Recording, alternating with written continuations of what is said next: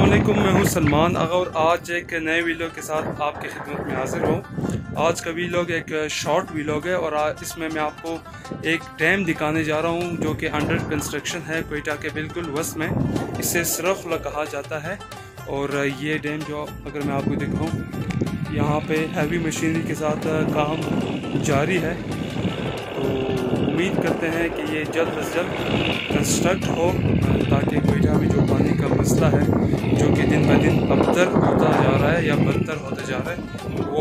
सके। अगर आप देखें तो पीछे भी आपको यहाँ पे कुछ नज़ारे दिखाना चाहूँगा। असलकुम कैसे हैं आप? ठीक ठाक? तबीयत कैसी है? ये डैम बन रहा है? अच्छा तो ये कब से इस पर काम शुरू है?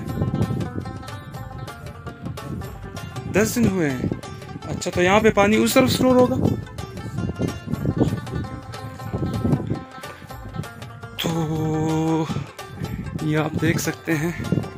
यहाँ पे बड़े पैमाने पर कंस्ट्रक्शन किया जा रहा है।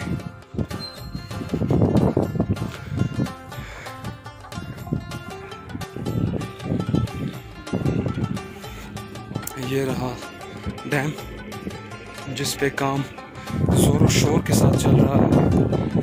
यहाँ पे आप देख सकते हैं, मिट्टी को लिफ्ट किया जा रहा है। वहाँ पे आप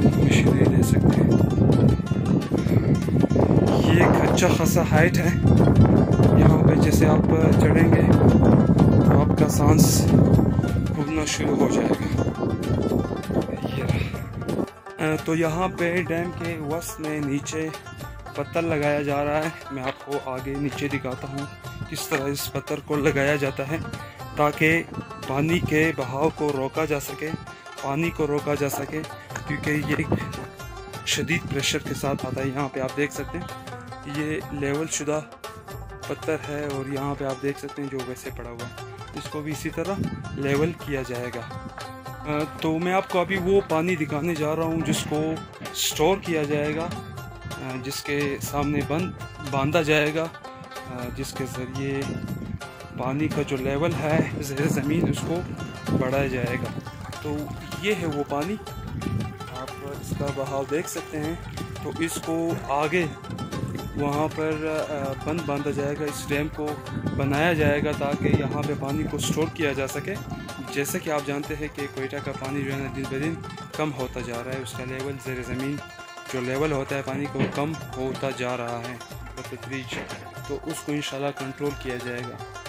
तो उम्मीद करता हूँ कि आज का ये वीडियो आपको पसंद आया होगा। एक शॉर्ट सी वीडियो थी, सिर्फ़ आप लोगों को बताने के लिए कि यहाँ पे अलहमदिल्ला एक डैम कंस्ट्रक्ट किया जा रहा है, जो कि हमारे लिए एक अच्छी न्यूज़ है। सो सी यू